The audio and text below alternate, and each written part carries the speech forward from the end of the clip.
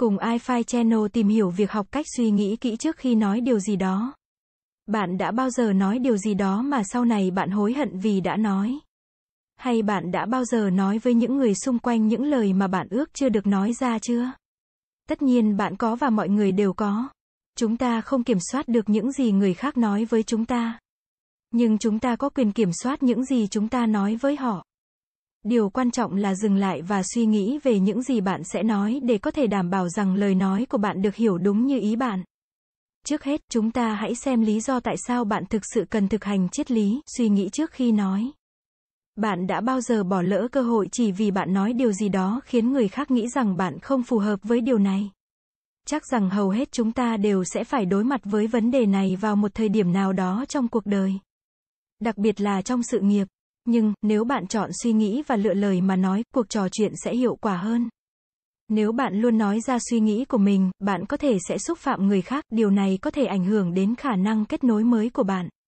Do đó, hãy nắm bắt và nhớ rằng nếu bạn có ý định tận dụng tối đa mọi cơ hội có được, bạn phải học cách suy nghĩ trước khi nói, điều này cũng nêu bật lên tầm quan trọng của việc giao tiếp đúng cách. Khi bạn hối hận về những gì mình nói, đó thực sự là một bước lùi trong cuộc trò chuyện. Suy cho cùng, lời nói làm tổn thương trái tim và mối quan hệ. Sự hối tiếc này phát triển thành cảm giác tội lỗi và chẳng mấy chốc nó bắt đầu làm hỏng những suy nghĩ tích cực trong bạn. Tuy nhiên, nếu bạn đầu tư hơn vào việc suy nghĩ trước khi nói, điều đáng tiếc này có thể tránh được. Điều quan trọng là có thể truyền tải thông điệp một cách rõ ràng cũng như lắng nghe. Và cách duy nhất bạn có thể làm được điều đó là suy nghĩ và lựa lời mà nói. Để suy nghĩ trước khi nói, trước tiên bạn cần phải chịu trách nhiệm về thực tế rằng bạn thực sự có thể kiểm soát bộ não và suy nghĩ của mình. Bài viết dưới đây có thể giúp bạn cải thiện đáng kể bằng cách tuân theo một số quy tắc đơn giản. Tự hỏi bản thân xem điều bạn định nói có đúng không, nếu bạn không chắc chắn rằng thông tin bạn đang nói là 100% thì bạn nên dừng lại và suy nghĩ về điều đó. Nếu chúng ta đang nói điều gì đó về người khác, điều quan trọng hơn là phải chính xác và trung thực. Chúng ta nên cẩn trọng lời nói, bởi vì tin đồn phát triển mạnh dựa trên những thông tin không chính xác hoặc những tuyên bố không đúng sự thật. Đôi khi chúng ta nói những điều không phù hợp với cuộc trò chuyện, nhưng vì chúng ta muốn trở thành tâm điểm. Nên tiếp tục nói chuyện sẽ tốt hơn là dừng lại và suy nghĩ về những gì chúng ta thực sự đang nói. Hơn nữa, bởi vì con người quá muốn được chú ý, chúng ta thường làm giảm giá trị của những người xung quanh bằng những lựa chọn từ ngữ kém cỏi. Đi xa hơn là để chế giễu họ trong một số trường hợp. Nếu bạn đang cố gắng cải thiện kỹ năng giao tiếp của mình và muốn có một cuộc trò chuyện tuyệt vời thì đừng bao giờ nói những điều chỉ vì mục đích muốn nói mà hãy chú ý và cẩn trọng lời nói. Tốt hơn hết là nên tử tế với mọi người khi bạn nói chuyện với họ vì bạn không bao giờ biết họ đến từ đâu hoặc họ đã trải qua những gì. Một phần của tử tế là không đưa ra giả định về người khác và không buộc tội mọi người theo một cách nào đó. Đừng là người cung cấp những điều không trung thực. Hãy chắc chắn những gì bạn nói là chính xác. Hãy chắc chắn rằng đó là sự thật. Vì vậy, nếu bạn chưa biết, hãy tìm hiểu.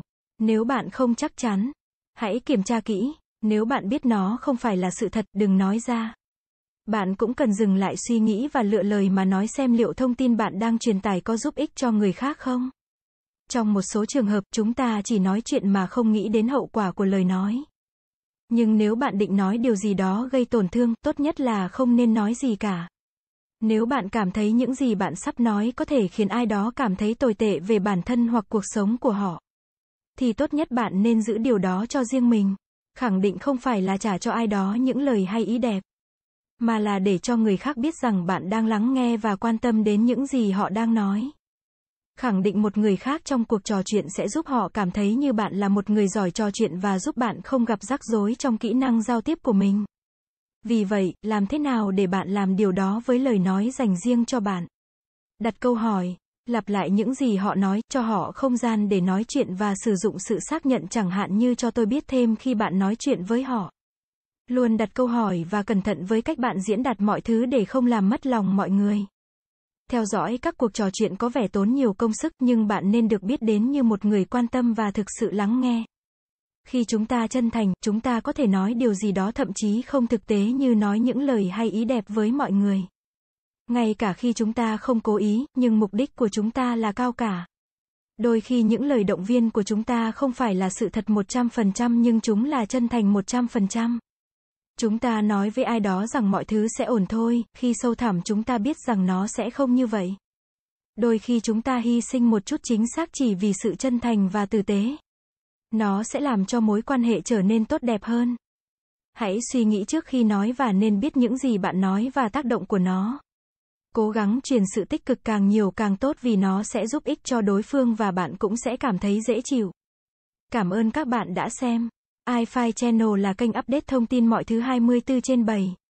Vui lòng click vào nút đăng ký và nút chuông để theo dõi nhiều thông tin bổ ích hơn nữa bạn nhé.